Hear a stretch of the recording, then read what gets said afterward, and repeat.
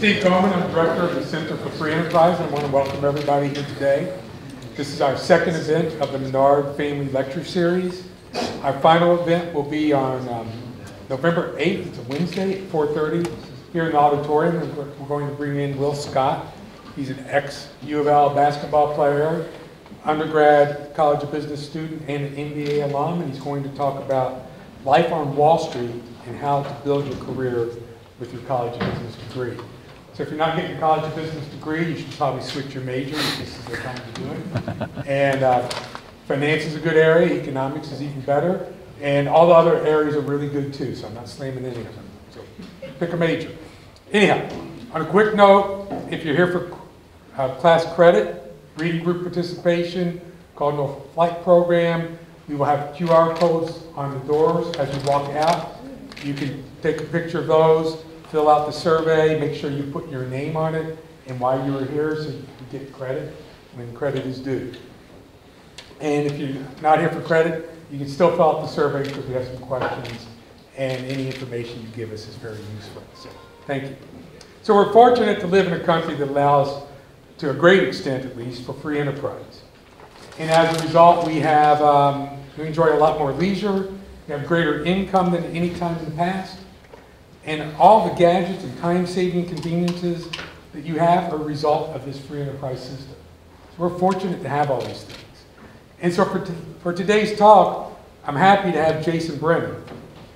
Jason is the Robert J. and Elizabeth Flanagan Family Professor of Strategy, Economics, Ethics, and Public Policy at the McDonough School of Business, Georgetown University. He specializes in politics, philosophy, and economics. He's author of 16 books and many journal articles. And today he's going to talk about why it's okay to want to be rich. So listen up and learn something. something. So Jason, thanks for coming.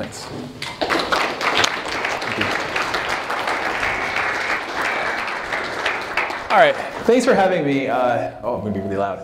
Uh, thanks for having me out here. I want to tell you a little bit about why this book series exists in the first place.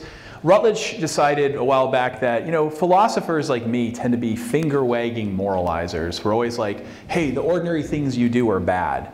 They thought, what if there were a book series where people defend common sense behaviors, the way that people, normal people actually live, rather than doing the highfalutin stuff that philosophers say and themselves don't live up to.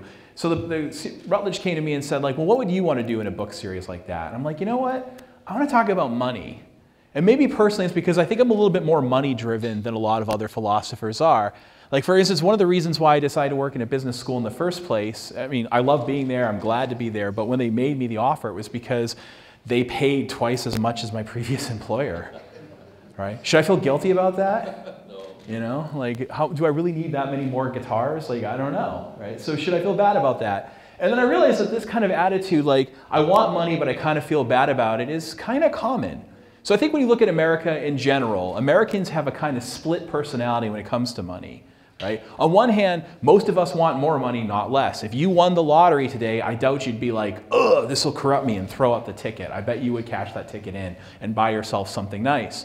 But we kind of feel guilty about that. Most of us pursue luxuries, but we also feel that crass materialism is, well, crass. We love rags to riches stories, but we also love stories about rich people getting torn down, and we like stories about peasants being happy.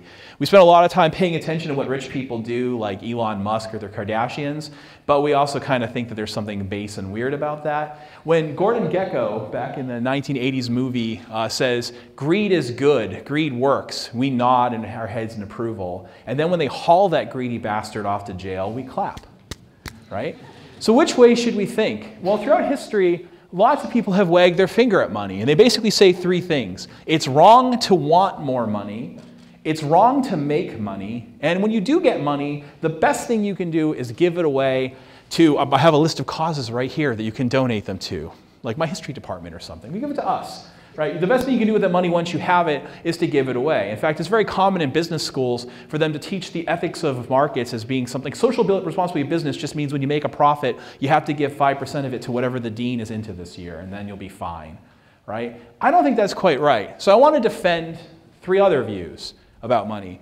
It's okay to want to have more money. You should want money. Money deserves your wanting of it right? If money is bad for you, it's you. You're the problem, not the money. It's okay to make money if you make it the right way, and it, most of us are making it the right way. Not everybody. The English department is not making it the right way. I actually, I actually literally mean, I have a book on that very point. I literally mean that. Uh, and we could, if we have time, I'll tell you why.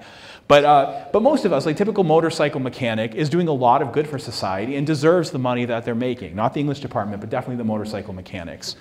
And yes, it is good to give some of your money away to worthy causes. I do that. I think you should too. But you're not in perpetual debt to the rest of the world where you have to feel guilty for living high, even while others don't live quite as well as you. All right, so that's what I want to defend in 36 minutes and 43 seconds, those three claims. Now, who cares? Why should you care about this? Well, here's why. Because you're rich. When I'm talking about rich people, I'm not just talking about Oprah Winfrey or Elon Musk or Dr. Dre or like other people. I'm talking about you.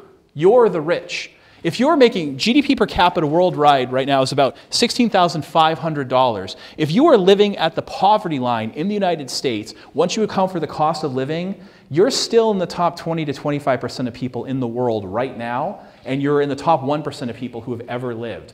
You are the rich. Years ago, I was teaching at another university, and we're talking about this idea of giving away your money, and some kid raised his hand and said, Soak the rich, man. And I'm like, the median household income of the freshman class this year is $270,000. He's talking about you.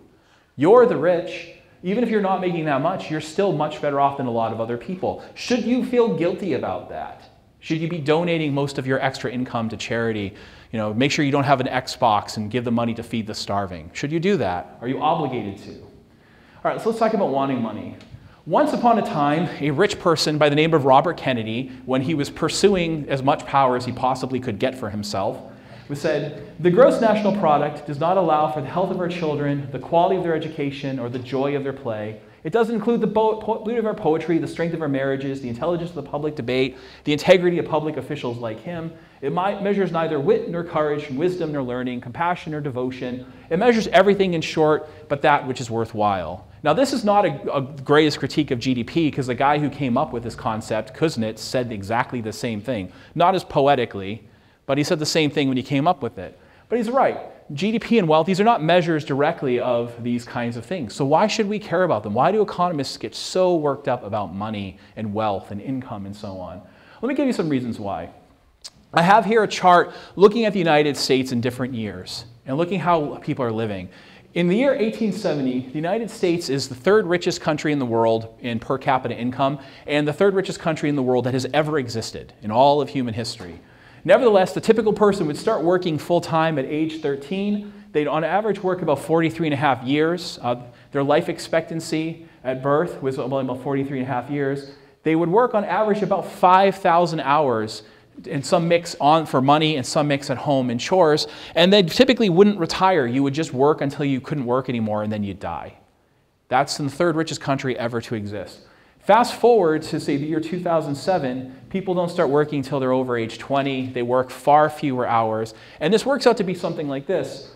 Nowadays, people like us can expect to spend only a, like less than a third of our lives awake and working. We have literally hundreds of thousands of hours more leisure time than our counterparts did a little more than 100 years ago.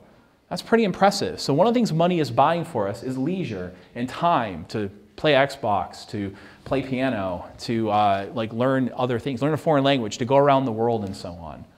What might money be doing for us? Well, there's a famous song that says, You can't buy me love. It's true, you can't go to the store and buy it directly. But it turns out that money helps with a lot of the stuff that really matters. And one reason for this is if you've ever heard of Maslow's hierarchy of needs, which you probably have in another class, you can think of it like when we are poor, when we are in desperate situations, we pursue the things that are most urgent. And it becomes more and more difficult to get the things that maybe matter the most. You know, when you're poor, you're worried about your physical safety. Am I going to eat tomorrow? And those kinds of things. When you have a lot of money, you're protected from these vicissitudes of life, and you can worry about other stuff. You have more freedom to pursue those things. Right? So it's not to say, so one of the things money can do is perhaps not bias these things directly, but give us the opportunity to realize them. And in fact, when you look around, that's what you find. For instance, rich people tend to be happier in their marriages than poor people. The number one thing that poor people fight about in marriage is money. Right? Those things are partly connected to each other. right? So it's not that money can buy you love, but it can buy you the opportunity for it. It can help get you that kind of thing. Back when I was in college, you know, 20, more than 20 years ago, geez, 20 uh, something years ago, uh, I was taught that money has no major effect on happiness. Once you get about $15,000 a year in current dollars, then the total amount of money you have has no effect on how happy you are. It just plateaus. Not diminishing returns, but just straight up plateaus. No effect whatsoever. And that seemed like it was true, but the problem was the way that they collected the data to make these arguments wasn't very good. Back in 2006, a number of economists, Betsy Stevenson, Justin Wolfers in particular, got way better data, surveying 130,000 people, getting a random survey from every single country. And what they found is, contrary to that, around the world, the amount of money people have in absolute terms, not just being better off than their neighbors, but the absolute level of money that people have makes them happier. The more money, the happier they are. It's a pretty strong effect. In fact, the outlier was actually the United States. The United States was a surprisingly uh, money resistant country where Americans were actually not as affected by money as like the French. But this is a universal feature of human behavior. But it's not just that. Around the world, they found things like did you find enjoyment in the previous day? It was strongly predicted by how rich you were. Did you think that you felt loved? Was predicted by how rich you were. Did you think that you were treated with respect the previous day? People who were from rich countries said yes, people from poor places tended to say no. Did you feel anger or negative emotions? Those were correlated with being poor. So it starts to look like that story that maybe money doesn't buy you what really matters directly, but it gives you the chance to get it, helps liberate you from the things that get in the way, starts to look like it's true. Money literally buys us time. One of the big things is that we live a lot longer than we used to. A big part of that has to do with vaccines, of course. If you're getting childhood vaccinations, you're not dying of diseases that used to kill people. In the year 1850 in the United States, even if you were rich, you could expect on average two out of five children to die before they made it to age five. That doesn't happen very much anymore. It's not common. However, it's not just that. The, second biggest predictor of how long you live has to do with the income of your country because it buys you things like nutrition and other things that make you resistant to disease. Medicine has a surprisingly weak effect on life expectancy after you get, rid of, get past the childhood vaccines. What about things like reading to your kids at night, the ritual of reading to children? Well, that's expensive. Light used to be incredibly expensive. Back in the year 500,000 BC, for you to get a 1,000 lumen hours of light, which is the equivalent of burning 33 candles, like simple candles, for about an hour, that much light would cost you about 65 hours of work. In the year 1800, it would cost on average about six hours of work. By the year 1890, it would cost about 10 minutes. Today, it costs for a typical American about 10 seconds of work. So things like having light, when the sun goes down, you can stay up. And all the stuff that you get to do is because of wealth and our access to things like light. So money, in fact, is strongly correlated with all the things that are making our lives better what's not worth wanting about it? There's a lot to be said for it. But then people go, okay, it makes sense to want money, and lots of people do. What about making it? Isn't making it kind of a bad thing? Right? And you have throughout history people saying that. You know, so Jesus says it's easier for the camel to go through the eye of the needle than for the rich man to get into heaven. It's worth noting here that uh, at the time that this was being said, we working in a different kind of economic system. Throughout most of human history, what you have is a large number of people doing a lot of work for a small number of people who heavily exploit them and mistreat them. Some people think that's still what's going on now, right? And the, the typical rich person is literally preying upon others. If you think about feudal, like the rich people in, say, feudal Europe, who's rich? Knights and warriors. Like you guys work as peasants, and the knights and warriors control you, and they take all of your stuff, and they're not really doing much for you back in return. Is that really what happened with, I don't know, the CEO of Apple? Is he controlling me the way that a knight is controlling me and forcing me to work? I mean, I buy Apple products, but I'm pretty sure it's not what's going on. So it might be true, but maybe the rich people today are different, right? You can think of it like this our intuitions evolved for certain kind of circumstances. Throughout most of human history before civilization, we lived in small family clans of about 100 to 120 people that were characterized by heavy in group solidarity and constant war and enmity with all the outgroups. And a lot of our moral intuitions in our brains, the architecture of our brains for ethics, was designed to help us live in that environment. What does it take for us to live in small tribes at war with other tribes successfully? That's your moral psychology. But we don't live in that kind of environment anymore. Yes, there's war, yes, there's conflict, but it's not the way it used to be. We also, for a lot of human history, lived in a feudal type system. right? Which has a very different kind of economic interaction. So a lot of our cultural norms that have developed are for feudalism. That stuff is still with us. We don't live in these kinds of environments anymore. Now we cooperate on a massive scale. Even something like a number two pencil. How many people does it take to make a number two pencil? You're probably thinking, I don't know, a couple hundred at the factory. The answer is something like 50 million. It takes millions of people to make that thing. We cooperate on a massive scale. But our intuitions don't match this. And we tend to be very suspicious of trade. I try to disabuse my students of this by having them play a game at the beginning of every semester. It's called the candy game. I walk in and I hand every student a unique candy bar uh, just at random. I tell them they can't eat it and they can't do anything with it at first. And then I have them rate it on a scale of 1 to 10. And then I say, for 10 minutes, I want you to make as many trades as possible with any willing partners, and then come sit down. So they go and they trade the candy bars, and then I ask them to rate their candy bars again on a scale of 1 to 10. Typically, what happens is at the beginning of the game, the average score is something like a 3.5. People are pretty unhappy with their candy. By the end of the game, after 10 minutes, suddenly their scores are 8, 9s, and 10s, and everyone's really happy. All we did was move candy around by mutual consent, and we literally created wealth in 10 minutes. Literally created wealth without having to invent anything, just by moving it around, by mutual trade. Generally speaking, that's how trade works. Generally speaking, you buy something only because you expect a profit, and they sell it to you only because that you expect a profit. So if I think about something I bought recently, uh, it's always a guitar. I bought a Paul Reed Smith uh, hollow body Piezo 2 uh, guitar, right? We were talking about that a second right at lunch. Yeah, I bought that. You know, it's not cheap, but like Paul Reed Smith is happy to sell it to me because they prefer having my money to having that guitar. And I'm I didn't get suckered. It wasn't like they won. I prefer having that guitar to having the money. We both walk away happy. We shake hands and go, that was a good deal. I'm glad we made that deal. That's pretty cool. What's to complain about? Well, it turns out that it's not just these one shot things that happen. It turns out that there's a systematic effect of having systems of people engaging in trade like this. And that systematic effect is that we're a lot better off than we would have been had we come earlier right? So you can kind of summarize that the economist Deirdre McCloskey has a nice summary of economic history in two sentences. She said it goes like this Once upon a time, everyone everywhere was poor, then capitalism happened and now we're rich. She means it. What does she mean when she says everyone, everyone was, everywhere was poor? Think about what you mean by extreme poverty. When I say the word extreme poverty, picture what that means to you. For almost all of human history, that's how every single human being lived. At the year 1 AD, on a high estimate, the typical person was living on about a dollar a day in current US dollars. And you're like, you can buy hardly anything with the current US dollar. You're saying like people in 1 AD were living on average about 460 to $500 over the course of a year? You can't get anything with that. Yeah, that's right. They were desperately poor. And those numbers, if anything, are misleading because there was income inequality. So the kings and the high priests and the knights and stuff were living much better than everybody else. So the typical person was living much worse. That was common throughout all of human history until relatively recently. Until you get to about, you know, there'd be empires and growth and this, but it'd all be kind of small. And then starting around the year 1500 to 1600, suddenly you start having growth. It's not the same everywhere, but one thing to notice about this is it's positive growth everywhere. It's not just redistribution. It's not just Europe got rich and other places got poor, which suggests that things simply got shuffled around.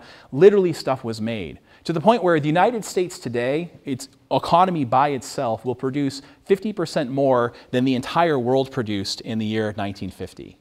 Stuff has been made, not merely moved around. Almost every country today is better off than it was 50 or 60 years ago almost every tip person is better off than they would have been had they been born some other point in history. Even like in the United States, GDP per capita in the United States around like 1905, it's roughly around what we now consider the poverty line. The typical person is now, in the year 1900, is what we would now call poverty. We're much better off than we used to be. Wealth has been made because of things like markets and working together. A lot of people have a kind of suspicion of profit. It's okay if you make a little bit of profit, but you make too much, something must be going wrong. Um, I actually give students a project in class where it's called the ethics project. And I say to them, over the course of the semester, working in groups, I want you to think of something good to do, break up into groups, and do it. And then at the end of the semester, you have to answer a bunch of questions about it, analyzing what you did. One of the things they might decide to do is run a business. That's actually one of the easier projects to prove that they've added value to the world because it's actually quite simple. When you think about what a market price is, it's a function of supply and demand. What does that actually mean? How many of you have taken an econ course where you covered the idea of supply and demand? Most of you. That's good. But do you know what that really means? What does that really mean? What it means is around the world, there's a bunch of people like you who have preferences, who have knowledge, who have goals, who have trade offs that they're willing to make, and awareness of what's happening around them. And you make decisions. And the collective effect of you making these decisions and interacting with other people are these curves that describe human behavior in the aggregate. What kinds of trade offs people are willing to make. So that means, and market prices emerge from your collective behavior. Like that's where they come from, from your decisions and your values. All of you together working as individuals and working together lead to market prices. This tells us something about the relative value of things. And then it allows us to make decisions about how we can serve other people. So, for instance, I had an idea just now. Um, I think what I'm going to do is take that Paul Reed Smith guitar and all my other guitars, I have about $50,000 worth, and bash them into pieces and then make a sculpture of Mickey Mouse. And I'm going to sell that on the internet. I'm going to try to charge $100,000 for it. What do you think? Do you think I'll get it? Probably not. You guys, maybe I'm really good at sculpting. You don't know. But yeah, I probably wouldn't, right?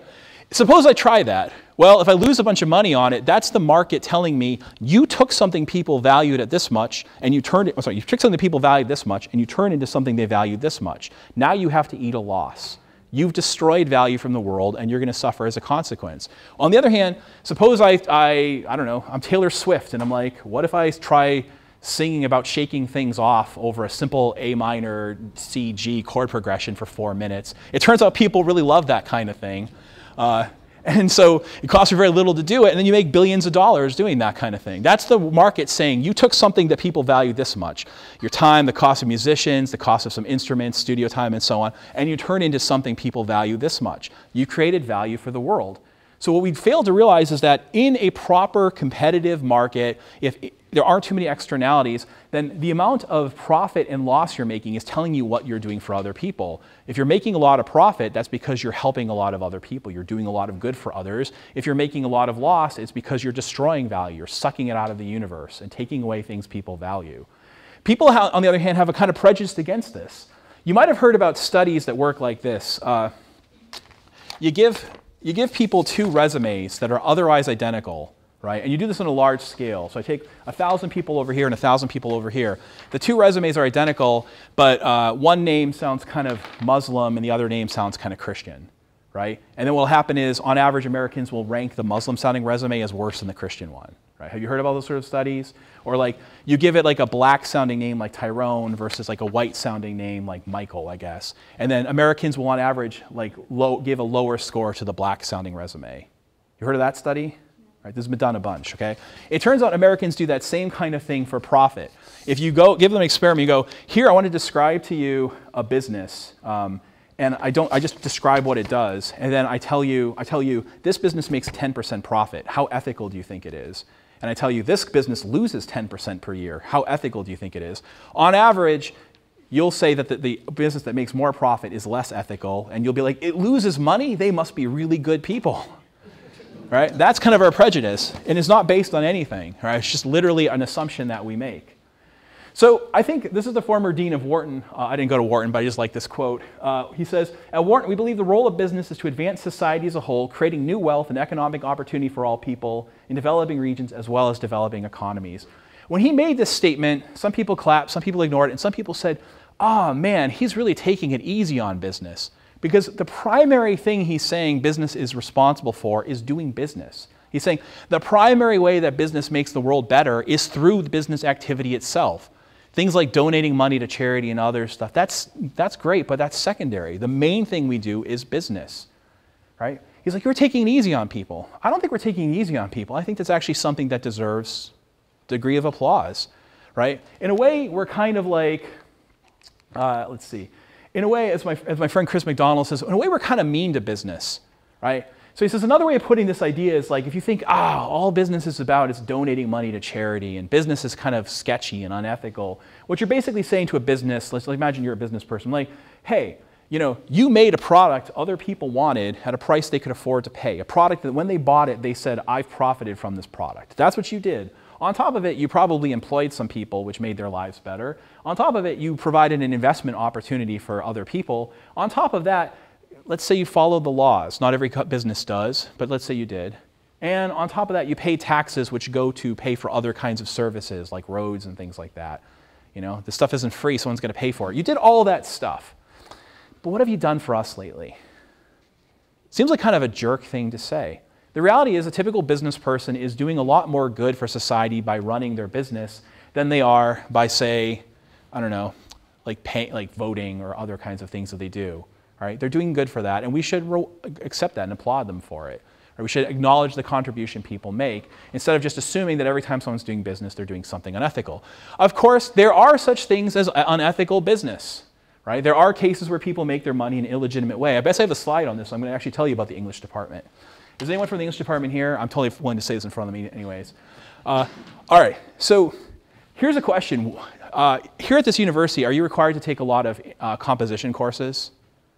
Is that required? Like, to take like two or three composition classes, like freshman comp or intro to writing? Okay, empirically speaking, I don't know about here, could be the exception to the rule, haven't looked, checked on this university in particular. Empirically speaking, those classes do not work. They do not make people better writers. This has been studied at great length, and they don't work. Typically, what happens when they show that they don't work is universities require you to take more of those classes. Why does that happen? That's weird. If taking a pill doesn't work, why make you take three copies of it? Right? Here's what I'm explaining to you like the background dynamics of universities. Typically speaking, at most universities, for every student that your department gets in a seat, your department gets more money. What happens, my friend, my colleague uh, Phil Magness and I discovered, is um, Financially needy departments around the United States heavily lobby the general education committees of their schools to ensure that students are required to take classes in their departments, and then rich departments that don't need extra money don't do this. So the biggest predictor of whether you're going to have to take a gen ed in a particular department is how poor that department is and how bad their job market is. Oops. So that's when I say like English departments, yeah. So when I said like, you know, not everyone makes their money ethically, you know, the English department doesn't make its money ethically. But then others do. Like take the company Mesa Boogie. I'm picking them because I, I love Mesa Boogie. I have a bunch of Mesa Boogie amplifiers. You know, what did that company do? There was a piano player who said, I think I can make a better guitar amp than other people did and invented a new style of distortion, which is so popular that even if you're not into rock music or something, you've heard thousands of songs with these album with this stuff on it. Right? Anyone ever hear a song by Prince? Right, this stuff. Anyone hear Metallica? Santana? Rolling Stones? Mesa Boogie, thank them, right? If you like that stuff, thank them. They came up with that sound, right? They made products other people, they innovated, they made products other people want, and they make other people's lives better, especially mine, because I'm a guitar player and I love them. All right. So now people might say, well, what about the fact that some nations are rich and some are poor? Isn't the explanation for why some countries are rich and some countries poor because some countries stole from the others? It is true, historically speaking, that some countries stole from others. It's really horrible that this happened. I'm not going to excuse that for one second. It's not what I'm here to do. However, when the NAACP says a mind is a terrible thing to waste, they're actually right. And it's a measurable thing. In fact, a paper just came out a week ago on this very point about how emancipating African Americans from slavery caused a massive economic boost to the country because it wasn't a very useful thing to do with people to like keep them in bondage. They did better stuff afterwards.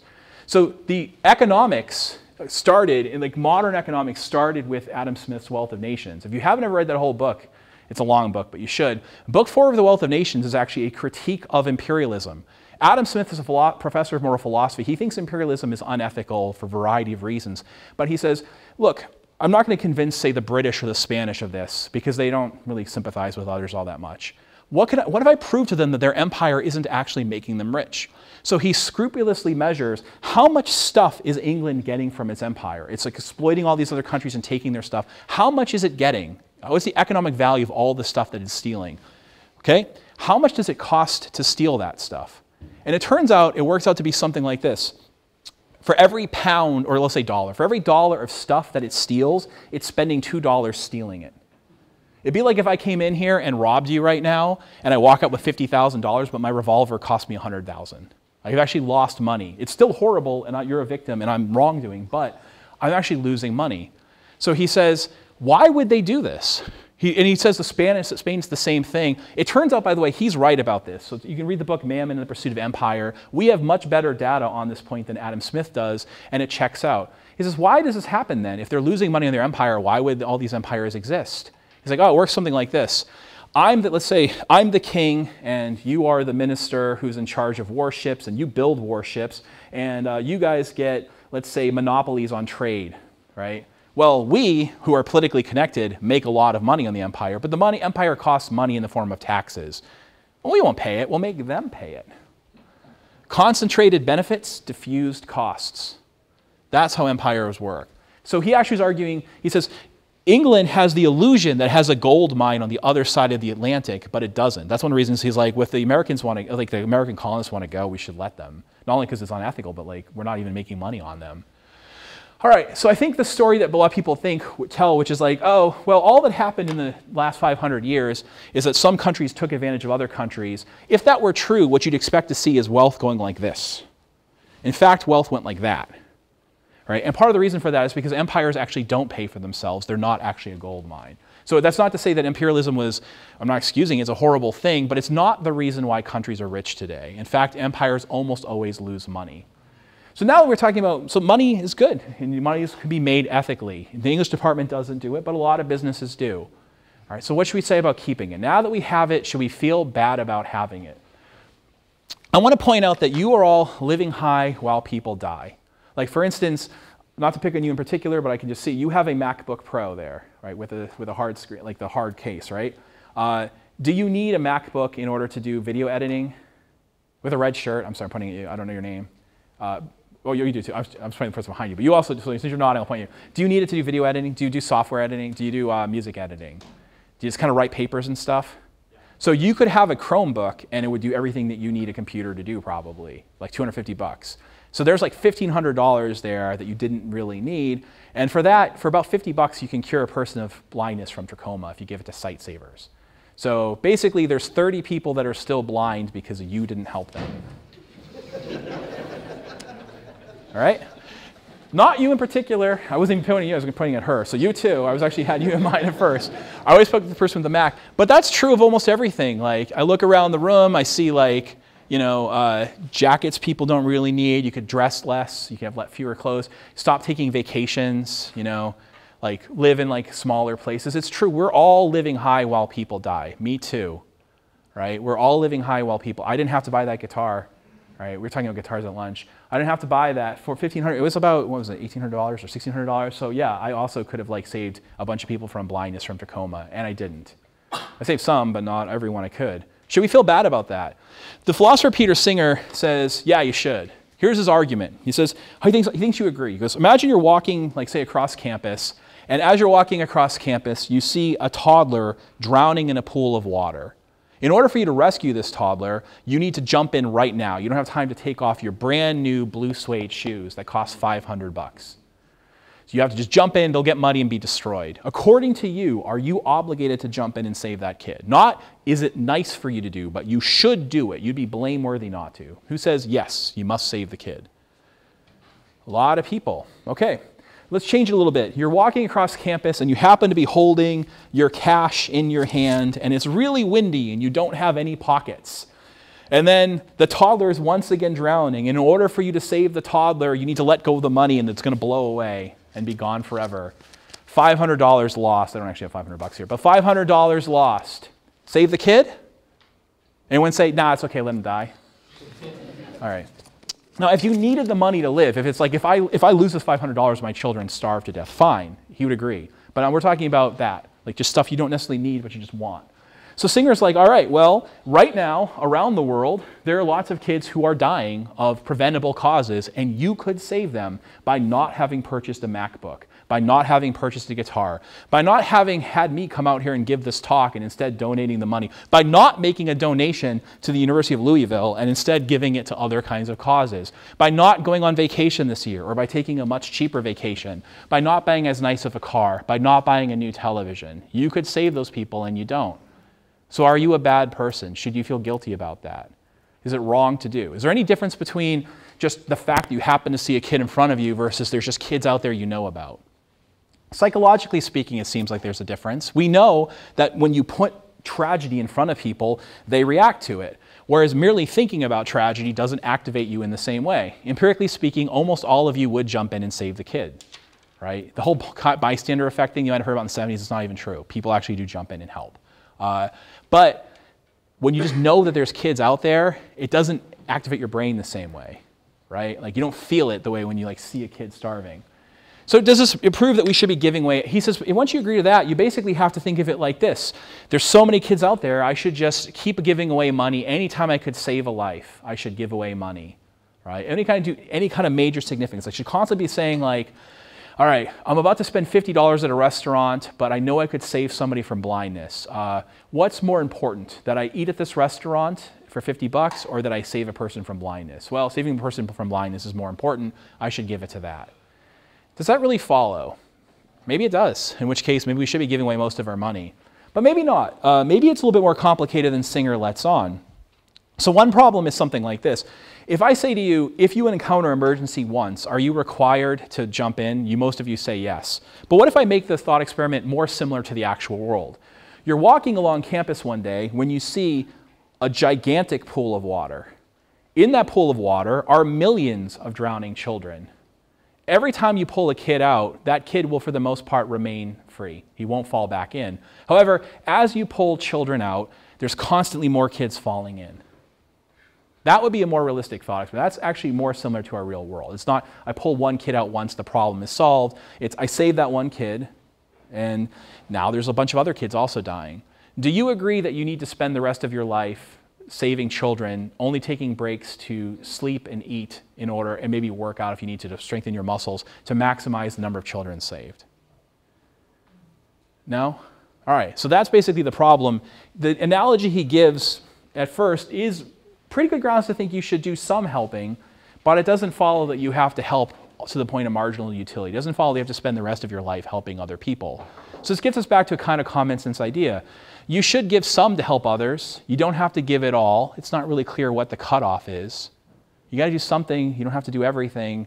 It's not really clear what the cutoff is. That's the kind of common sense morality. But it's actually more complicated than that because, in fact, we face. I, am making it sound like I'm taking it easy on us, but I actually think it's more complicated than that. If you want to really maximize the good that you do to others, it's not really clear donating at all is the best thing to do. For one, you could donate to lots of lousy causes. Have you guys ever heard of a, a program called Scared Straight? Uh, anyone heard of that? Scared Straight, what they do is, um, let's say that you're a 13 year old boy who's shown some criminogenic behavior. We take you, we bring you to a prison where a bunch of people in prison right now yell at you and threaten to hurt you and say, like, when you come to prison, we're going to hurt you a bunch and it sucks here. And then supposedly you'll be so scared that you won't commit any crime. All right? Should you give them money? No, you shouldn't, because it turns out that the people who are selected by lottery to go to Scared Straight are much more likely to commit crime than the people who lose the lottery and don't go. So we're taking, using randomness. In fact, it's so bad that one economics paper that evaluated them said that Scared Straight causes $200 of social harm for every dollar you give them. It's a very bad charity. Uh, probably hope they won't get sued for saying that, but it's out there in the literature. They didn't sue those, sue those people. They won't sue me. All right. You could give money to the English department. I wouldn't you know, not saying that they're the worst thing ever. They're not as bad as Scared Straight, but they're not great either, right? So not every charity is worth your money, but it's not just that. It's the money that you spend on charity isn't going towards other things.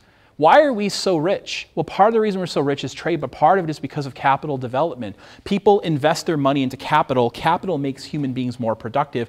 More productive human beings get paid more. The reason I have as much income as I, as I do now is in part because I just was lucky enough to be born here and not someplace poor, and lucky enough to be born now and not sometime in the past. A person like me, in my circumstances, who'd been born in the same place 100 years earlier, like I was born in Lowell, Massachusetts, if I'd been born in Lowell, Mass in like 1870 with my circumstances, I wouldn't be a professor at Georgetown making what I make. I'd probably be like, frankly, I'd probably be a criminal, actually. I'm not, I'm not being funny, that's probably true. Uh, it sounds funny, but it's probably true. Uh, so, like a lot of it comes from things like capital development. We benefit from that. If you want to help other people, you actually have a real puzzle. How much money should I spend donating to effective charities? I mean, don't donate to ineffective charities or bad charities. How much should I donate to effective charities? How much should I spend on trade?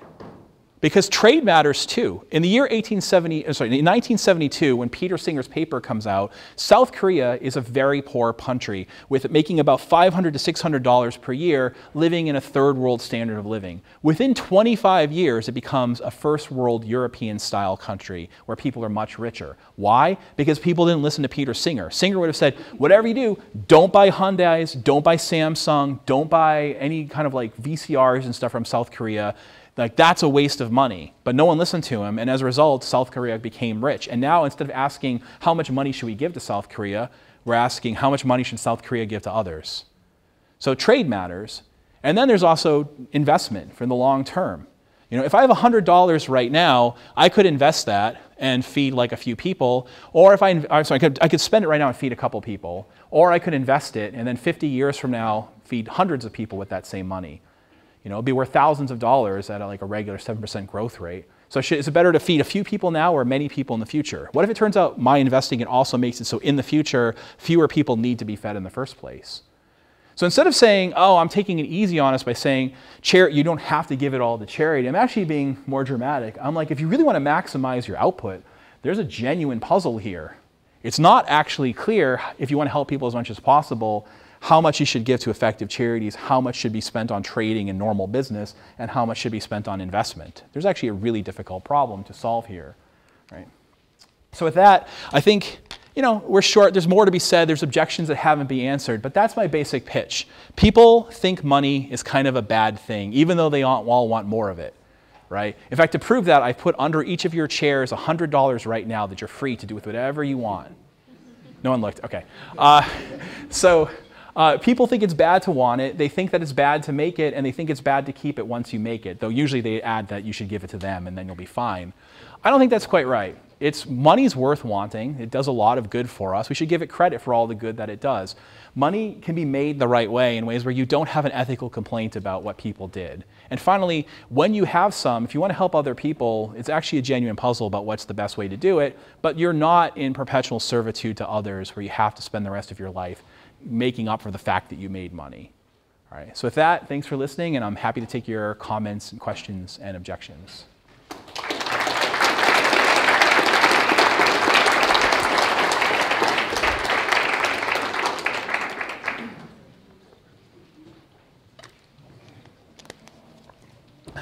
microphones up here if you want questions from the microphones ask, please.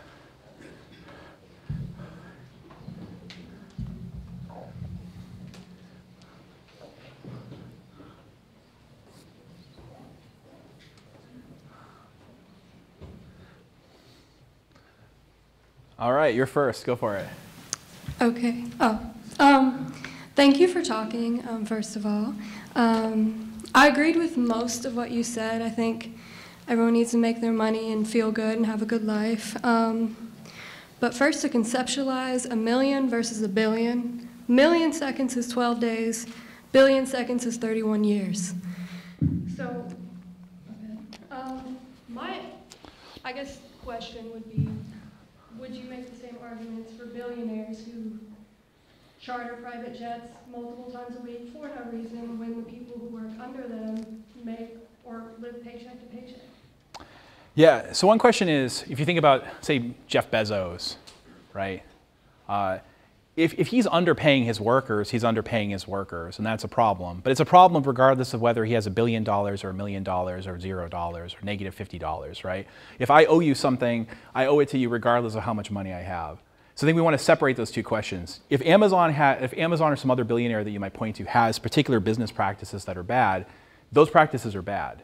They're not bad because they have a billion dollars. They're just bad because they're violating an obligation, right? Um, if I, just another example, like if I beat my children and I'm poor, that's bad. If I beat my children and I'm rich, that's bad. The problem is beating the children. Okay. Uh, but then what about, is there enough, is there ever a point where you have too much money? I mean, I do have the common sense idea that like the more you have, the more you should give to charity because the easier it is. So again, you have to give to effective charities, not just any charity. Uh, you know, and it is true that like a lot of that wealth has diminishing marginal returns, but we have to think about what that wealth is in the form of. Uh, Jeff Bezos, for instance, has a lot of money. He does not have a Scrooge McDuck money pit sitting around where he goes and swims in the cash. What he has are stock in Amazon. What he has is a claim to like things like this fact, like the warehouse in Sterling, Virginia, near my house, right? That's where his money, his wealth is literally in the form of Amazon. What is that stuff doing? Well, frankly, and this is interesting, it does a lot more to serve you and me than it does to serve him. He eats better than I do. I don't take private charter jets. I'm sure he has a way better vacations and so on. I bet if he even plays guitar, he has better guitars than I do. I don't think he does, right? But most of his wealth is actually in the form of capital that serves us, and it serves us a lot more than it serves him. That's true of a lot of other billionaires that's just sitting there in the form of capital that's being used to pay for your student loans and start businesses or literally physical capital like factories that are like serving us and so on. So I don't think that there's like a point where if you get too much money, suddenly it becomes evil. I don't think it gradually becomes more evil the more you have, in part because this stuff is doing these sorts of things. The other thing to note, and this sounds really mean, right? So I'm going to pick me as an example. Jeff Bezos, he's like retired now basically, but take a random day that he was working as CEO of Amazon. He would do more good for other people on that day than someone like me would do over the course of a lifetime. He really would. Like his marginal product was actually really high. And in fact, an interesting thing about CEOs uh, is that on average, they get paid less of their marginal product than the rest of us do. There's a theory in micro, you guys took micro mostly, that says that on average, Typically, on a competitive market, you get paid your marginal product of labor, meaning if you produce $100 worth of value for others, you'll get paid about 100 bucks, right? That's not always true. If you take more labor econ, you learn that there's exceptions to that. CEOs actually, like of big corporations, actually tend to get paid significantly less than their marginal product. They'll do billions of dollars for others and only get paid, say, $20 million. They're getting a lower percentage. So, no, I mean, I don't think there's an inherent problem with billionaires. I do think when you point to particular billionaires, a lot of them are doing bad things, but the problem is the bad thing. It's not the billion dollars. If you get a billion dollars because you did something bad, that's you shouldn't have the money perhaps, but it's not that the billion dollars is itself an inherently bad thing. Okay. Um, well, then I guess my last question would be, um, you know, you said billionaires are all good or mostly good or whatever. Um, what are your ideas about regulation? because a lot of these, you say a lot of his wealth is in stocks, he can still take out loans against those stocks. Yeah. He can still get a house under all those stocks, um, even put it under his business in certain ways. Would you see that as appropriate? Yeah, actually, I'm glad you brought that up uh, because regulation is one of the problems, and this is actually my complaint about the, the English department. How does the English department make money? The technical term is rent seeking which rent seeking means you manipulate the legal environment to advantage yourself at, at the expense of your competitors and others. Right? So many times regulation can be a good thing. Sometimes it solves problems. Regulation can also be a weapon. Another way of thinking about it, a lot of you like sports, like, like take football. All right? Imagine like uh, you know your favorite football team is uh, into, is really good at passing, and then maybe your favorite football team is really good at rushing right? And now you're lobbying the NCAA, uh, sorry, the NAAC, I'm like NCAA, uh, to to like change the rules to like make it easier for your team to win versus your team to win, right? A lot of what businesses do is, especially in DC, is lobby to change regulations for their benefit. Uh, so like, okay, like take like Amazon and eBay and so others were pushing to create sales tax in the internet. Why would they do that? They don't want to be taxed. Ah, but our competitors would suffer more from a tax. So I think many times regulation can be a good thing, but oftentimes regulation is used as a weapon to disadvantage competitors and on behalf of you, and that's one of the ways that businesses can make uh, money unethically. This is kind of the problem we have. Uh, imagine a world in which there's lots of criminal gangs running the street, like roaming the street, fighting and shooting people, and we decide we want to arm the police to stop them. But it turns out that these criminal gangs, whenever we give the police weapons, they steal the weapons and then use them against the police and the rest of us. In that kind of world, every time we try to arm the police to protect ourselves, we're actually arming the people who are harming us. The problem with regulation is it often works like that too. Sometimes it's used for good, sometimes it's actually going to be captured by the very people trying to regulate to, to hurt us for their benefit. What's the overall mix? That's a good question. But I would say it's like regulation is not inherently good, it's not inherently bad. It's kind of kind of depend on how it gets used. Great, thank you. Hello. Um, I first off, I would like to say that I do agree with some of the points in your book. I heavily disagree with a lot of them, just off the bat. But I do agree with your main overarching idea that it should not be considered like bad to want to make money and to actually make money. I, I do believe there's a heavy stigma against that and that it should not be considered as like sinful as it actually is. Um, however, when I was discussing this among peers about the book, I realized that a lot of my disagreements with your points stem from the idea of you use the words poor and rich a lot. And I feel like that the definitions of those two words changes depending on who you're asking. For example, I lived most of my life below the poverty line. However, I did not consider myself poor back then because I was not homeless. And I do not consider myself rich now beyond any means, even though I am above the poverty line. So, my question for you would be what is your, in the context that you are using it in your presentation and in this book, what is your definition of poor and rich? And do you believe there is a middle ground? Or do you believe it is simply above and below the poverty line? I mean, I don't think the, the poverty line in the US is anything special. It's not like a real number that, that really signifies much, frankly, you know, give you, given the way that it's defined. So when I say almost everyone in the world was poor throughout human history, I am sort of appealing to Americans and thinking like, think of what you mean by poverty, the typical reader.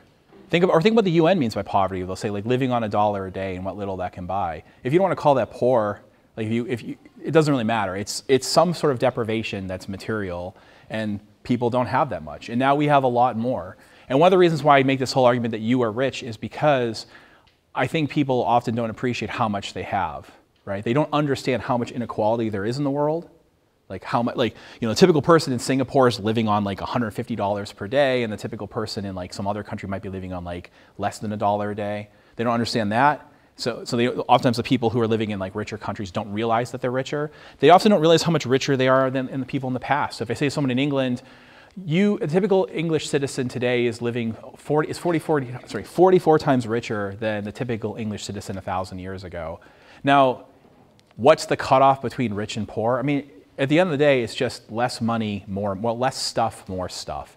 And, and how we're going to use these words is going to be kind of arbitrary. There's going to be a point in history, if there's, if there's 1% economic growth per year for the next like 100 years, then 100 years from now, the typical person worldwide is going to be at the level of the typical person in Canada now. They're going to consider a lot of what we do poor. Right? Uh, I remember reading a biography of Thomas Cromwell where they were talking about how rich he was, and they're like, he had six shirts. Literally, I like I have six shirts that I've never worn. Right? He had six shirts total, and he's like one of the richest people in England. So he was considered rich at the time and poor now. I completely agree with you that poverty and wealth are going to be relative terms. I'm pegging this on like kind of the way that a lot of people are going to use these things. But at the end of the day, they, these are shorthands for real numbers that really mean something. And we could, every time I say rich and poor, I could just substitute in particular numbers to like make the point. All right. So I definitely don't think there's like a point where you stop. In a way, we're all poor forever because we never get everything that we want. And, you know, in a way, we're, we're quite rich compared to most of human history because it's not expected that any of us are ever going to die from lack of money, right? Uh, and that wasn't common for most people, right? So, is that the official way to define it? Absolutely not. It's a relative concept, and, and you're right to point that out. Yeah, thanks.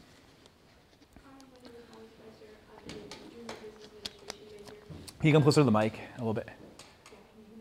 Uh, oh no, he's going to fix it. Yes, thanks. Okay. Um, in our reading, we discussed, um, part of the issue of the United States throwing money at other countries attempting to improve their economy. We especially talked about the TOMS shoes example and how they, um, hurt the countries that they were attempting to help by donating these shoes. What do you think that the United States role should be in helping these developing economies? Yeah, I agree with that. Uh, I'm very skeptical of government to government foreign aid. By the way, if I'm wrong about this, that, this is not officially part of the book. So if I'm wrong in the answer to this question, the book might be fine. I'm very skeptical about government to government foreign aid for the reasons that you are. In fact, I used to teach a class on this and we would cover a lot of the research on it. Uh, government, government to government aid has all sorts of problems. It's often directed for political causes. A lot of times the money is being spent on, the point isn't really to help the people over here, it's to engage in rent seeking and pay people off over here. Uh, a lot of times foreign, government to government foreign aid has the problem of like, you know, we're basically like, you're the dictator of your people, and I noticed that you guys are poor. We're going to give you $2 billion, and uh, if we come back and they're still poor a year from now, I guess we'll have to give you more. Well, what's, this, what's he going to do? right? So oftentimes they take the money and shoot the freedom fighters and build a really fancy airport and don't help people. You know, turning on money in response to like deprivation doesn't necessarily have that effect.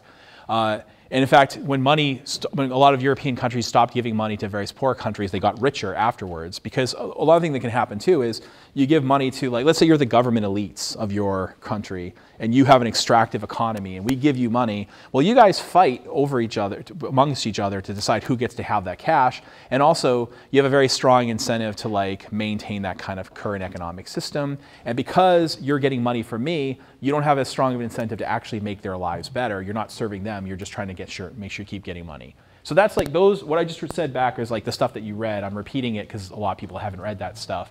So for those reasons, I'm skeptical of government to government aid.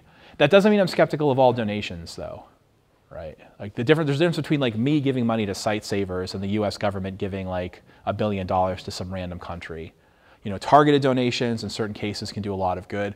One of, uh, one of my favorite charities um, uh, does what's called zero overhead giving right? It's called a company group called GiveDirectly, and they'll basically walk into a very poor country with cash that people like me have given them and go up to people who are not begging on the street, who are just leading normal lives. They look like they're productive, they look like they're functional, and like everything, so they seem to be okay, but they're poor. And they just kind of go up to them and go, here's a $1,000. We are never giving you money again. This is a one time grant. And then they walk away. And then you come back a year later, not to give them money, but to see what they spent the money on and they'll spend the money on things that are really useful to them and, and things that they, like a person like me wouldn't have predicted like putting a metal roof on a thatch house and it turns out that reduces malaria like who knew so I'm, i think a lot of charity can be good like that and the critique of foreign aid the government to government foreign aid doesn't necessarily apply to private charity uh, because it has a different kind of incentive structure because you're giving money directly to you can be giving money directly to people who are suffering rather than using extractive corrupt governments as an intermediary Hi. Hi. So, my question is, um, so obviously, there's lots of business opportunities out there for people, you know, like me and such. But once you have, you know, ten billion dollars or something, your um, rate of return, you, know, you, you can't find the best business opportunity because you have to find one that can take the amount of money you currently have. So does the, should, due to that reasoning, does it become, you know, you get, have less marginal utility from the wealthier you are from investing your wealth, um, just less beneficial to society because you can't point, pinpoint it to where it's needed most. So does um, the, uh, if that's the case, does the, um, should the most wealthy people, as their investment returns decrease, inve- um, give more to charity? The good ones. Uh, I mean, maybe, but it might just call for better investing. I mean, if you really wanted to, if you really wanted to maximize your, the way you help other people, you would just say, well, do whatever maximizes the benefit to others, and it's going to be a puzzle what that is. Um, you know, because I mean, even on the diminishing marginal returns issue, it's also the case that like consuming it has sharply diminishing returns. You know, investing it has diminishing returns. I mean, a lot of wealthy people, they're just going to throw their money into various accounts and they'll try to like make more, but they recognize they're never going to really eat this money. It's going to be, and so you're, you know, it's a good question. Like, does it turn out when people get to be a certain level of wealth, they start becoming worse at investing? You know, that's an interesting hypothesis. I honestly, I don't know whether it's true. Right? I think that's a really good question. I think that's like if, if you're in one of my classes, I'd be like, you should sign up for a summer research fellowship and like do that as like, or, or like you should get like a write a senior thesis on that question. Because like when you say it, it's like it's intriguing, it's plausibly true, and I don't know if it's true or not. And if it were true, what would it mean? You know. Um, on the other hand, like I don't think like I don't, I don't think we have to maximize the good that we do. I think we should do some good, we don't have to maximize it. So I wouldn't say like, in order for you to justify having money, you have to maximize the output you do with it. And one reason I don't say that is because if I said that about billionaires, I'd have to say that about us. And none of us are doing it either. Right? It's really easy to point to the billionaires and go, you guys aren't maximizing the good that you do, but I guarantee you no one in here is either. Right now, we could all be like saving people from blindness. So like I'm, you know, no offense to me or you, but I think we can do better things. yeah, so that's why. But great question. I hope you write a paper on that someday. Thanks. So lawyers don't produce anything specific. So I was wondering, what do you think about their economic value? What's their economic value? Yeah, that's a great question. What I mean, again, it's going to vary from lawyer to lawyer, uh, you don't have to produce anything specific to have value, right? Like, what do you ha- what does it even count as producing? Like, do you have to build something? Do you have to like grow something from the ground? Do you have to extract something from the dirt? Do you have to make a thing?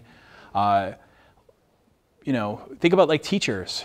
Teachers do a lot of talking, and people nod their heads, and then they write stuff down, and maybe that's doing good in the future, but it's not like building something. So what do lawyers do? They do things like uh, imagine imagine I write a book called Cracks in the Ivory Tower: The Moral Mess of Higher Education, and in it I give a lot of examples of how universities violate business ethics. And being bold and strident as I am, I go so far as to include my own employer, Georgetown University, as one of the groups that does bad things, which I in fact did. Uh, so then, uh, having done that, imagine that, contrary to fact, that the university president gets really mad at me and tries to get me fired, right? Well, according to my contract, I can't get fired for saying that. And so it's like I have academic free speech that includes the right to criticize the university and the president, even if I'm wrong. I can't engage in libel, but I can make the kind of arguments I make, right? Now I'm like, oh no, I've just lost my job and I want to like sue the university to like get compensation for like the future income that they owe me, which I definitely, or am I still on camera? Which I definitely would do. I would do it the day I got fired. I would, I would actually go home and go straight to a law office and like sue you guys immediately. All right. I want to, like, I'm owed compensation, but I don't know how to get that stuff on my own. I need a lawyer for that. And there's a million other stories like that where lawyers can like help people. They're serving, they're, like the law is complicated and unwieldy, and they provide advice about how to do it. They provide services that you can't do for. You can represent yourself in court, but you ever hear the phrase like only a fool represents himself in court, or or no, sorry, a person who represents himself in court has a fool for a client, right? Because most of us are terrible at it. We get emotional and so on. Lawyers can do all sorts of good for us. Uh, that doesn't mean all of them do, but a lot of them do. Right. So yeah, and we can talk about criminal lawyers, what they do. We can talk about prosecutors, what they do. We can talk about marriage lawyers, what they do. They're, they're doing all sorts of stuff to help us navigate. In a way, like just to have a simple thing, imagine there's a labyrinth and people get stuck in it sometimes. And there are people who are good at helping people get out of that maze. Well, now the labyrinth is the law and the people get them out of, out of the maze with the lawyers. Now, that said, we can also complain a lot about lawyers too. Because sometimes what the lawyers do is make the, the thing complicated on purpose in order to make you need them. That's rent seeking. But you know, some of it's good. Yeah, good question. Hi. Uh, sorry. Um, so when you say the English department, it says makes it. Uh, by makes it, uh, the other alternative beside making it is not making it. Uh, so I guess I'm just asking a part on the necessity of the English department. If you're saying it's not a necessity, and I've, it's not like a challenge in any way at all. It's just more so the idea, like with pollution, uh, the idea of in order to be competitive, you have to pollute. Uh, so you can make the same argument uh, talking about how they essentially have to be making it through polluting. And we're trying to so- find solutions for not polluting. So I just wanted to kind of get your gauge on that. Just yeah. Thank you for asking more about. You know, I, I did as an offhand, but then I used as a real example, and now we're talking more. But I'm glad to. I'm glad to make fun of English departments. Uh, you know, it's one thing if like, like everything we do pollutes. Uh, if you recycle, if you decide to recycle aluminum cans, recycling is an industrial process that creates pollution, right? Everything pollutes. Uh, so it's true that like if you're going to do something that we need, there's going to be pollution, and there's a question we can ask about: Is this thing making this thing worth the pollution that we have? Right? If you decide to take a, you know, we can ask that. But then what if it's something that we don't need at all or something that's not actually very good for you? Well, then probably the best thing is to just not make it, and certainly not to force you to make it or take it, right? So uh, some people might say things like, Brennan, you know, you have this complaint about gen ed classes, like, you know, like composition classes and foreign language classes, and you say they don't work. Just to be clear, I do, I do actually accept the idea that like if you graduate with a bachelor's degree, you should know a lot. You should know one thing a lot, but you should know a lot of stuff. I think you should know something about science. You should know how to speak a foreign language decently. You should know things about like understanding other cultures. You should know the history of the planet and different cultures and groups. You should know, I, I think you should all know all that stuff. But I'm not really very strongly in favor of making people take classes in it. And the reason is because empirically speaking, over and over again, we make people take classes in it, they don't actually learn it. So some people, what do you want to do instead? I'm like, take whatever classes you want. Right? I didn't realize, I used to work for a school, not my current school, which has lots of gen eds, but the school I worked at before had no gen ed requirements. You had to major in something, you had to take like 30 cr- classes and you had to major in something. Uh, and you could design your own major pretty easily, and that was it. So if you want to take 32 classes in Chinese, great, you could do that. And at the time, I was like, this is nonsense. And then I read all this stuff about educational psychology and went, oh, wow, they're right. Yeah, so basically, uh, in a way, if you're like, the English department, I think it's the pollution it makes is not worth it. That would, and I would say about pretty much, pretty much any department. Like uh, when people are like, "Do you think people should be required to take classes in your department?" I'm like, no, right? I mean, I'm glad some people take them, but I don't like vote in favor of them. Like when I was on the gen ed committee at my own school, I would like try to make it as open ended as possible, because even though I think people should know this much, forcing to take classes and it isn't doing the trick. And if it isn't, then we have to think about an alternative model of education. Um, instead, what happens at most schools is people are, most universities have a lot of fighting for resources, and one of the resources is our, your tuition dollars. And if you take, if, I don't know what it's like here, but in most schools, you take a class with me, my department gets more money. We'd rather have more money than less. If we can't attract you to our classes through other means, we force you to take them, which is just on par with, uh, does anyone here have uh, Coca-Cola? Like, not Diet Coke, but regular Coke? All right, there you go. That has corn sugar, corn syrup in it, not sugar. Do you guys know why? It's cheaper. Do you know why it's cheaper? Yeah. Because of tariffs. Because of tariffs. Because companies like ADM and others go to uh, the government in, in DC and say, hey, what if you force Americans to pay extra money on sugar imported from elsewhere. And also, by the way, just tax them and just give us money. And then when it happens, corn syrup will be artificially cheap all of the economists say that that's terrible. They all say that that creates more harm than good. What do you think? And the government's like, sure. So that's why there's, that's why there's corn syrup in your Coke. Right? That's called rent seeking. That's a prime instance of it lots of people do that. So when I say like, does Coke, is Coke bad or good? I'm like, well, Coke, some of the money it has it deserves and some of the money it has it doesn't deserve. Well, actually, Coke is the victim here. I'm sorry, I shouldn't be blaming them. Some of the money that Archer Daniels Midland has it deserves and some of the money that Archer Daniels Midland has it doesn't deserve. It kind of depends on the mix of how it got it, right? The, the stuff that comes from rent seeking is bad. The stuff that comes from elsewhere is okay. Yeah, so thank you. Good question. Yes? Uh, hi, I'm Yathrib. I'm a PhD in health economics. At the beginning, I will thank you for this amazing session. It actually brings a lot of thoughts that come to me while you were, get, we were presenting it. Yeah. First of all, we were talking about economy, and it's all about supply and demand, and about having a value. And money, we need money to be happy. So if we get all of this money, just putting it in our pockets without actually spreading it to others or helping others, what is the value that we are getting?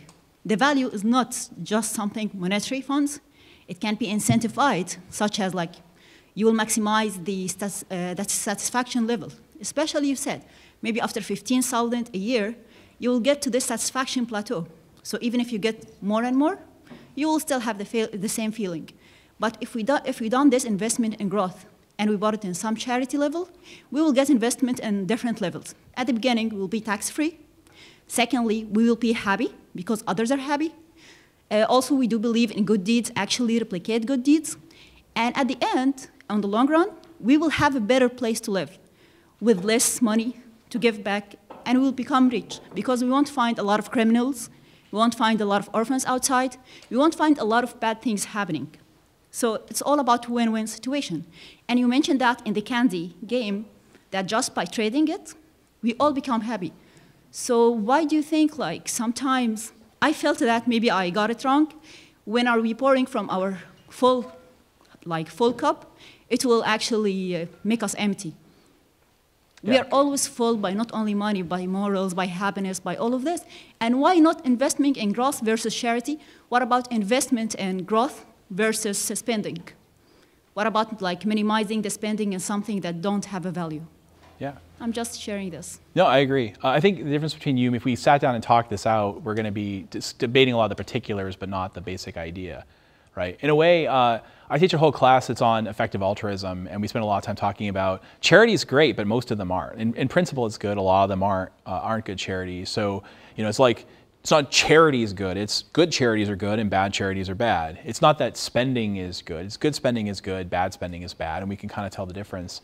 Um, in a way, like this is a defensive money, but it's not really defensive money. This stuff, you know, this has no real intrinsic value. I don't particularly need a picture of Grant. I don't. It doesn't smell that great. Like I don't like the. I don't like the feel of this in my fingers. You know, it's probably pretty. This one's pretty new, but probably this stuff's pretty dirty right? Money kind of sucks, but in itself. But what's good about it is what we can do with it, right? So, you know, as the Marxist philosopher Jerry Cohen said, this is, a, this is freedom. It's a ticket to do what you want. And so what I'm basically saying is like, with the first set of slides is like, as a matter of fact, empirically speaking, these tickets do a lot for us. They make us happier, but that's not all they do. They let us read and stuff. And I want to say, by the way, the diminishing returns on happiness, I don't think it plateaus at $15,000. I think it's just it's not like up to 15 and then nothing. It's just diminishing returns. And we don't get less happy and less happy. Happiness isn't everything either, right? Uh, and I think you'd agree. Let me give you an example of things that don't make you happy. Sorry, guys, but you're in the front. Children. Empirically speaking, I have two kids, by the way, and I, I had them on purpose after I knew about this research. Empirically speaking, people are not made happier by their children. Uh, typically, for a typical person who's identical to you demographically, has the same income and stuff like that, same job, you probably would be happy. That person's happier than you without children until maybe about age 85 or so, and then they tend to be a bit happy for having had kids. So I wouldn't say like having children for the purpose of being happier is like taking an international flight for the purpose of getting a meal, right? It's not the point, but it's meaningful Right? So I think when I talk about the happiness stuff, I'm not saying it all cashes out and money makes us happier, keeps making us happier. It's like, no, there's diminishing returns, but it does a lot of other stuff. So it turns out that like families that make a lot of money, even when you control for things like the fact that the, you're more conscientious might make you make more money and be a better marriage partner, it's just money itself protects you from so much downsides that you're more likely to have a good marriage, which isn't just about happiness, it's about it itself. You're more likely to have leisure to be able to pursue higher level art and stuff like that. So I think the point about diminishing returns on happiness is important, but it's also not all about happiness. It's about other stuff. Now we can, now we can just start talking about what's the optimal mix of investing versus trading versus consumption versus chari- like the good charities, not the bad charities. So my last question, thank you so much for this clarification. My last question will be like, do you recommend in order to be rich just to invest in growth versus charity, or just to have this balance between like growth and charity giving? I honestly, when I say this is a genuine the personal level. Yeah, good question. When I say this is a genuine puzzle, like what's the optimal mix? I, I'm not being cute. I actually think it's a genuine puzzle. You know, I don't really know how much I should give to charity. I don't really know the right. I mean, I invest. I probably put 20% away per year um, towards retirement and so on. Um, I'm at? 21, 20, somewhere about 20, 21%, I'm guessing. Is that the optimal level? Is it, should it really be 15 or 27? I don't know for sure. You know, the amount that I give to charity, should it be more or less? Not really sure. Uh, the amount that I consume, should it be more or less? Probably not more. Uh, probably about, probably about the right amount. I don't think it would do much more for me. But I honestly don't think that there's a really good formula. I think it's, it's a genuinely hard question and we can't come up with like an algorithm to solve it even on a one-on-one basis. I think we just have to look and go, man, the world is mean to us because it tells us that there are these big trade-offs and then it doesn't tell us how to solve them. Um, yeah, like that's true. We can't solve this question, but at the same time, this question, if we didn't solve it, it will bring us that just investing in growth without investing in charity or other good deeds will make us selfish and greedy. And that's why some people will felt, oh, if I get rich, I will be I will be so much spoiled to the extent that I don't know what's happening around me. Yeah. That's why we don't feel okay. So if we didn't solve this puzzle, I don't know where it will go. Yeah, and just to be clear, I'm not saying don't give to charity, right? I'm not saying ah, you don't have to give anything to charity. I'm just I'm like responding to the people that are like, you better give it all away. Uh, like you should be like Peter Singer's official view is, you should be giving to the point where if you try to give more, they'd have to look and go, you know what, we should give some back to you because you're worse off than we are. He doesn't actually live this way, by the way. You know, he says he gives away he gives away a lot to charity, but he says he gives away about 20 to 25 percent to charity. He's a full professor at Princeton. He sells a lot of books. He probably makes half a million dollars a year. If he gives away 25 percent of his income, he's still one of the richest Americans alive, right? Uh, that's what I'm responding to. So I'm not here to say never give to charity. Like give to GiveDirectly. Give to Sightsavers. They're great. It's instead should you feel guilty if you have any extra, right? And I think no. And because we all have extra, by the way. Last question over here, Sizo. Hey, thanks so much uh, for the presentation. Um, I have some great friends, and they like to rage against capitalism. Yeah. Probably we're English majors.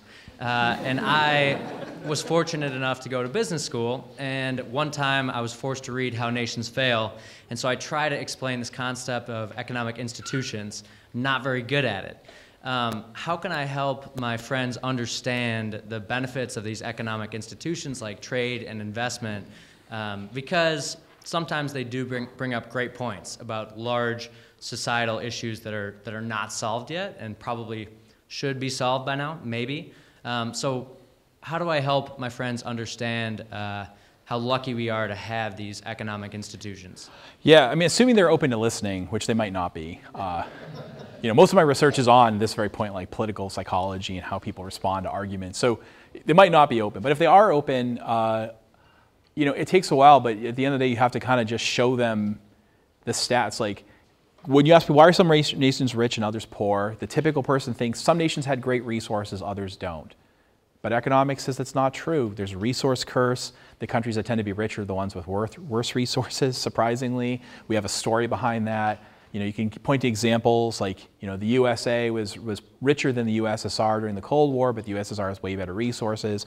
Hong Kong was richer than mainland China, but Hong Kong's a bunch of rocks and mainland China has amazing resources. Singapore's rich and it has no resources, et cetera. And if you give them enough cases like that over time, they may go, okay, maybe there's something to it. If you say it's about imperialism and, and slavery, you can tell them this story and go, actually, imperialism and slavery are really bad. They're not economically efficient, and here's how we know. Okay, but I don't think they're going to be persuaded by that because for a lot of people, they really, really want to believe that capitalism's wealth comes from slavery because they not because because they don't really care about slavery because they hate capitalism. They want an excuse to hate it, right? That's where they're coming from ideologically. Uh, so they're not going to be dissuaded.